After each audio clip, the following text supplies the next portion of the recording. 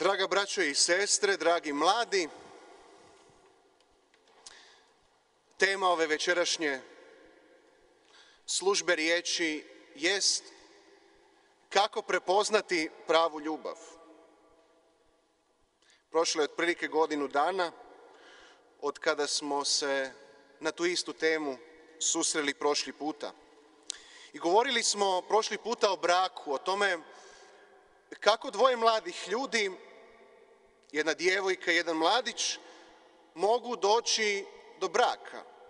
Što je najvažnije za dvoje koji razmišljaju o tome da li trebaju ući u brak ili ne trebaju? I rekli smo da je ključna stvar za dvoje mladih koji razmišljaju o braku da bi mogli pristupiti ženitbi spoznaja da ih dragi Bog zove na ženitbu. Da je dragi Bog izabrao baš njih dvoje da sklope ženitbu. Kako se to može spoznati? Treba poći od toga tko su oni, tko je čovjek. I onda smo se sjetili onoga što Sveti Pavao kaže. Sam Bog mira neka vas posveti cijelo vaše biće, duh vaš i duša i tijelo neka se besprijekornim, savršenim sačuva za dolazak gospodina našega Isusa Krista. Čovjek dakle ima tijelo, dušu i duh. I ako ti želiš znati da li je on prava osoba za tebe, između vas treba postojati fizička privlačnost. Zato što čovjek nije anđeo, ima tijelo i to tijelo proizvodi fizičku privlačnost. Ali to nije dovoljno. Čovjek je i duša, psihe, što znači da među vama treba biti i karakterna srodnost. To znači da se morate kužiti, da vaša komunikacija mora teći, da morate dijeliti otprilike iste vrijednosti, da između vas postoji srodnost karaktera. Dobro, niste u svemu isti jer takva osoba ne postoji, ali se slažete, postoji više toga oko čega se slažete od onoga oko čega se možda ne slažete. Ali niti to nije dovoljno, jer čovjek nije samo tijelo i nije samo duša, nego je i duh. Iako tijelo proizvodi fizičku privlačnost, a duša srodnost, duh proizvodi intuicije. Vas dvoje trebate doći do toga da sazrije u vama ona intuicija da. To je muškarac mog života. To je žena mojega života. I to morate imati oboje. Sve ove tri stvari morate imati oboje. Kad to imate, možete sklopiti brak. Bog sigurno želi za vas dvoje da sklopite brak ako imate ove tri stvari. A večeras idemo korak dalje. Idemo se pitati jedno drugo pitanje. Koji je tvoj brak? Kako to misliš? Jednostavno. Mi smo svi pozvani na brak. Nema nikoga ovdje u ovoj crkvi večeras tko ne bi bio pozvan na brak. Neki su se možda već obeshrabrili, neki već dugo mole za svog mladića ili djevojku, za osobu s kojom će ući u brak i ne znaju više što poduzeti. Nemoj se obeshrabrivati. Ti jesi pozvan na brak. Zapravo nema osobe koja nije pozvana na brak. I ja koji stojim ispred vas, i ja sam pozvan na brak ali jedan drugi brak. Brak sa crkvom, brak sa zajednicom, brak sa tijelom Kristovim. I to je brak. Evo, svaki čovjek jest pozvan na brak. Što to znači? To znači da je svaki čovjek pozvan živjeti nerazriješivo, to jest do kraja. Vjerno, to znači da ne ide izvan onoga na što ga Bog poziva. I plodno. Da donosi plodove u onome na što ga Bog poziva. u svom braku. Evo, mi smo naslovili ovu večerašnju Euharistiju i dali temu ovoj službi riječi kako prepoznati pravu ljubav. Ja ti večera želim o tome govoriti. O tvojoj ljubavi. O načinu na koji ćeš ti ljubiti. No, o tvojoj formi ljubavi. Jer gledaj, to je ključno pitanje u životu. To je najvažnije pitanje u životu. Kome ćeš ti darovati svoje srce? Kome ćeš ti darovati svoju ljubav? Hoće li to biti jedna djevojka, jedan mladić? Ili će to biti crkva? Ili će to biti društvo, kao Ivan Merc? Evo, pronaći svoj način ljubavi. To je najvažnija stvar u životu.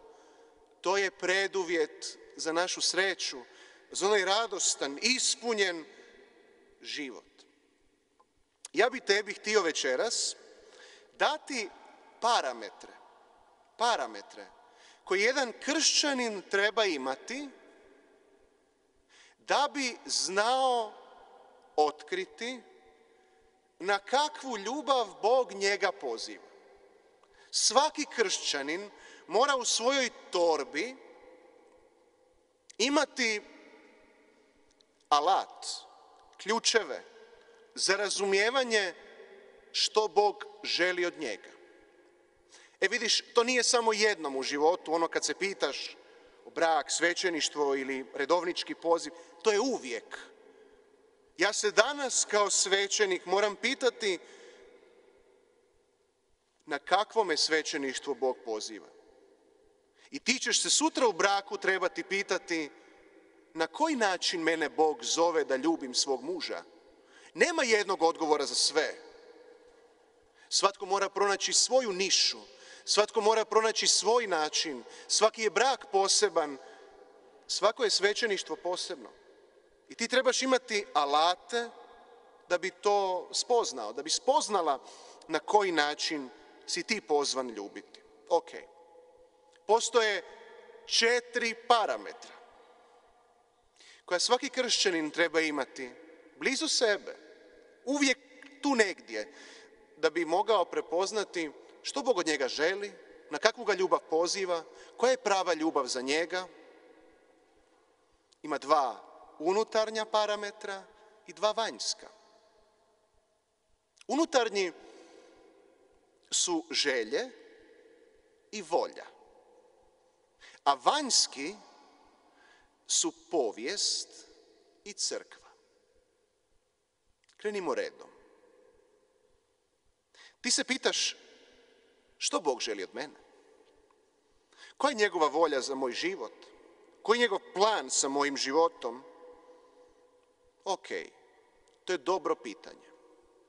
Ali prije nego što se pitaš to, moraš se pitati što ti želiš.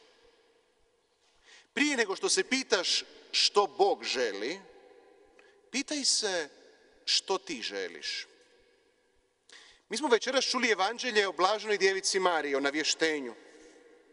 I u tom evanđelju kaže se da je u šestom mjesecu Bog poslao anđela Gabriela u galilejski grad imenom Nazaret k djevici zaručenoj s mužem koji se zvao Josip. Marija je djevica. Što to znači? U starom zavjetu postoje tri vrste žena. Postoje djevojčice. To su one žene koje još nisu dobile menstruaciju. Ali jednom kad je dobiju, u starom zavjetu žena postaje djevica. Što to znači da je djevica? Znači da je spremna ući u brak. Znači da je sposobna postati majka. Ali tek kad postane majka, u starozavjetnom mentalitetu se ostvaruje. Dolazi do vrhunca. Marija je djevica. Što to znači? To znači da je spremna postati majka. To znači da u svome srcu nosi jednu želju da postane majka. Što će Bog tražiti od blažene djevice Marije? Koja će biti njegova volja za njezin život? Da bude majka. Evo vidiš, vi ste večeras ovdje jer vam se sviđa ovdje biti. Jer želite tu biti. Želje su najvažniji pokretač čovjeka. I Božja volja za tvoj život se skriva među tvojim željama. Božja volja se ne otkriva kao nešto nepoznato. Božja volja se priznaje kao nešto što duboko nosiš u sebi. Kada otkriješ Božju volju za sebe, imaš ono iskustvo, pa da, to sam oduvijek želio, to sam oduvijek željela. Evo kao što je nemoguće da Bog tebe zove na brak s dečkom koji ti nije fizički privlačan. Kao što nije moguće da tebe Bog zove na brak s djevojkom koja ti nije fizički privlačna. Nije moguće da te Bog zove ili da Bog želi za tebe nešto ili da je njegova volja potpuno nekompatibilna s tvojim željama. To nije moguće. Ako ti nešto imaš jednu duboku odbojnost prema nečemu, vjerojatno to nije Božja volja za tebe. Oprez. To ne znači da ne postoji strah. I to ne znači da su sve tvoje želje Božja volja. Jer Božja volja je uvijek veća od tebe. Ta ljubav na koju tebe Bog zove je veća od tvojih sposobnosti. I kad naslutiš što bi to moglo biti, uvijek se treseš, uvijek te strah, uvijek misliš da nećeš moći, uvijek se osjećaš nedostojnom ili nedostojnim pred time na što te Bog poziva. Uvijek postoji jedna doza nesigurnosti, ali na kraju dana je to ipak nešto što se poklapa s tvojom najdubljom, najiskrenijom željom. Evo zamisli kako bi bilo predivno da se ti oslobodiš tog straha, da Boga za tebe želi nešto što ti uopće ne želiš. Većina vas ovdje ste uvjereni da Božja volja za vaš život je nešto što ti najmanje hoćeš. Ne. Božja volja za tvoj život se skriva među tvojim najdubljim željama. Međutim, oprez još jedna stvar. Nije nikada jedna želja ta koja upućuje na ono što Bog želi. Jer je Božja volja uvijek simfonijska. Što to znači? To znači da svi instrumenti u orkestru sviraju istu melodiju. Ili drugim riječima, više želja u tvom srcu upućuje u istom pravcu.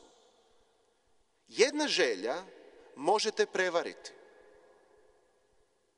Ali ako više želja u tvom srcu upućuje u jednom pravcu, vjerojatno, moguće je da se radi o Božjoj volji. Na primjer, koliko puta sam razgovarao s dečkima, prateći ih na putu do otkrivanja svećeničkog poziva, tu se uvijek nalazi da, volim Božju riječ, sviđa mi se tumačiti je. Osjećam poziv na jednu ljubav koja je široka, univerzalna. Bio sam u vezi, ali to mi je nekako bilo previše usko. Imam u svojeme srcu potrebu za jednom ljubavlju koja je široka, 360 stupnjeva. I onda još uz to osjeća neku ljubav prema liturgiji i onda još u sve to skupa i neku sklonost prema teologiji, a niti duhovno očinstvo ti nije strano. I onda kad to sve skupa zbrojiš, sve te želje, sve upućuje u jednom pravcu. Da, vjerojatno te Bog zove na svećeništvo. Nije jedna želja, nego više njih koje struje u jednom pravcu. Jednom kad smo to rekli, idemo na drugi korak. Idemo sada malo dalje. Kaj je drugi kriterij za raspoznavanje prave ljubavi? Kako ćeš ti znati koji je put za tebe, za ljubiti u tvome životu? Drugi korak je tvoja povijest. Pokušaj se sjetiti svojih prvih iskustava s Bogom. Kada je između tebe i Boga nestala udaljenost. Kad ti je Bog bio blizu, što ti je šapnuo? Što ti je rekao? Vidiš, kad čitamo Božju riječ, vidimo da kad se Bog obratio čovjeku u raznim fazama povijesti spasenja, uvijek u tom prvom trenutku je skriveno sve. Idi iz zemlje svoje, iz zavičaja i doma očinskog u krajeve koje ću ti pokazati, velik ću narod od tebe učiniti. To Bog kaže Abrahamu. I u tom prvom kontaktu, u tojim prvim riječima koje mu je Bog uputio, skriva se čitav njegov život, njegov poziv, Božja volja za njegov život. Evo i u tvom životu postoji tako nešto. Bog je oduvijek prisutan u tvom životu, dragi brate i draga sestro. Ti si se možda obratio, ti si se možda obratila, to ništa ne znači. To samo potvrđuje da je Bog oduvijek bio s tobom. To što ti nisi bio s njim ili ti nisi bila s njim, to je drugo pitanje. Ali on je bio s tobom uvijek. I govorio ti je od uvijek. Sjeti se čega? Svoje molitve, klanjanja na kojima si sudjelovao, propovjedi koje si slušao, knjiga koje si čitao, filmove koje si gledao, hodočašća na kojima si sudjelovao, svoje prve pričesti, svoje krizme, tih trenutaka se sjeti, od mnoštva tih stvari neka su ti ostala u sjećanju. Zašto? Jer ti je Bog bio blizu. Što ti je rekao? U tim trenucima u tvojoj povijesti skriva se nešto što je važno za tebe. Ti trebaš biti vjeran tome. Ti trebaš biti vjerna tome. Vrati se u svoju povijest. Okreni se unazad. Koji je treći korak? Treći parametar da bi ti znao, da bi znala na kakvu ljubav te Bog zove, jest crkva. Ok. Jednom prigodom, monsignor Luigi Moretti, pomoćni biskup grada Rima, pomoćni biskup pape, je rekao ovo. Slušaj dobro, slušaj jako dobro. Tko dovede čovjeka do Isusa Krista bez da ga dovede do crkve, zove se đavao. Isus bez braće je prijevara. Jer ljubiti Boga i ljubiti bližnje je isti čin. Vjera nije privatna stvar. Marija je čula Božji glas. Marija je u svome srcu čula odjek onoga što je Bog s njom planirao. Ali kako mi znamo da je baš to bila ona ljubav na koju je Bog nju pozvao? Zato jer je u istom tom trenutku ustala i pohitala u grad Judin, ušla u Zaharijinu kuću i pozdravila Elizabetu. Nije ostala sama sa sobom, nego je ušla u jedan odnos sa svojom rođakinjom Elizabetom. Božja volja ju je usmjerila prema njezinoj sestri Elizabeti. Gledajte, postoji samo jedna stvar koja se u životu isplati činiti. Samo jedna. Izgrađivati crkvu. To jest zajedništvo. Graditi odnose među nama. Ako je to što ti činiš usmjereno samo na tebe, ako ne uključuje druge, to nije Božja volja. Žao mi je, nisi na pravom putu. Kako je lako izgraditi jednu vertikalnu duhovnost koja je daleka od života, daleka od braće, daleka od ljubavi. To svatko zna, to svatko može. Isus Krist nije došao za to. Isus Krist ne nije utjelovio i postao čovjek i uskrsnuo i pobjedio smrt da bi ti radio nešto što se vrti oko tebe. Nemoguće. Naš život čine naši odnosi. Ja ne samo da imam odnose s drugima, nego ja jesam moji odnosi s drugima. Kad su moji odnosi smireni i sretni i puni ljubavi, ja sam smiren i sretan i pun ljubavi. Kad su moji odnosi narušeni, ja sam narušen. U mom životu i u tvom sve ovisi o našim odnosima. Evo, Božja volja za tvoj život te vodi tome da izgrađuješ crkvu. Nema veze što si možda pozvan na brak. Zato jer izgrađivati jednu obitelj znači izgrađivati crkvu u malom. I kao što u crkvi postoji praštanje i u obitelji postoji praštanje, kao što u crkvi postoje različite službe, tako i u obitelji postoje različite službe, kao što u crkvi postoji hijerarhija, tako i u obitelji postoji hijerarhija. Evo vidiš, crkva je jako važna. Ne možeš tražiti svoj poziv gledajući samo na sebe. Ne možeš se pitati o pravoj ljubavi gledajući samo na sebe. Trebaš tražiti ono gdje ti sebe gubiš iz vida, jer ljubiš. Trebaš tražiti ono gdje se daruješ drugima. Trebaš tražiti ono gdje se brineš o drugima, gdje usrećuješ druge. Tako i tako, na kraju života, to će ti jedino biti bitno. Jesi ikad vidio čovjeka kako umire? Ja kao svećenik sam često u toj prilici. I u tom trenutku samo jedna stvar je bitna. Je li netko bio sretan radi mene? Jesam li usrećio nekoga?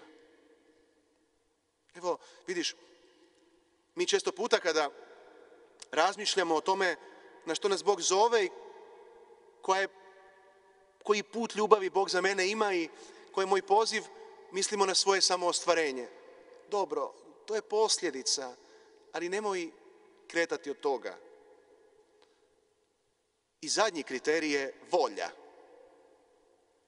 Kako znamo da je nešto Božja volja za tvoj život? Tako što ćeš svoju volju usmjeriti u tom pravcu.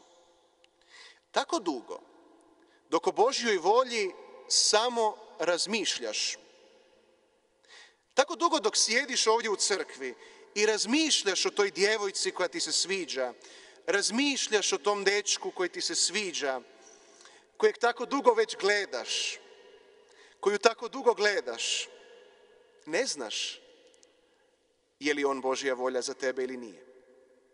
Ne znaš je li ona Božja volja za tebe ili nije.